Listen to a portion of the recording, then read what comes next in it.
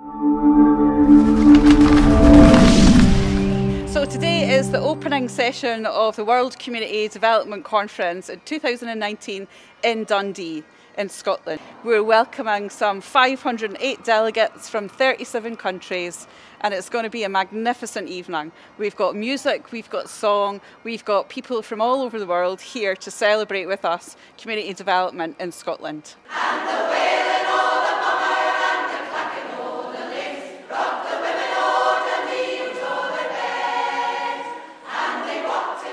This is my hometown, and there's no greater honour than to bring you, our delegates from around the world, to my home city.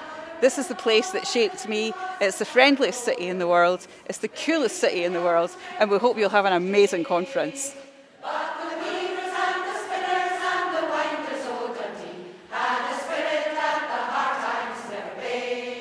We have the Minister for Communities, Aileen Campbell, coming to speak. We have Margaret Ledwith coming, who's a, a Professor Emeritus from uh, Cumbria University. We have Loki, who's going to really rock us. He's a, a social commentator and he's also a rapper in Scotland, so we can't wait to hear from him.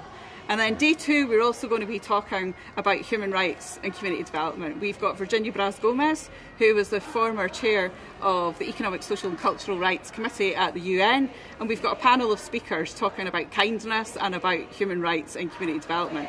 And on day three, we've got the magnificent Oliver Escobar coming to talk about participation what's different, what could be different in Scotland, and we've got a fantastic film which we've commissioned from the workers' movement in Brazil.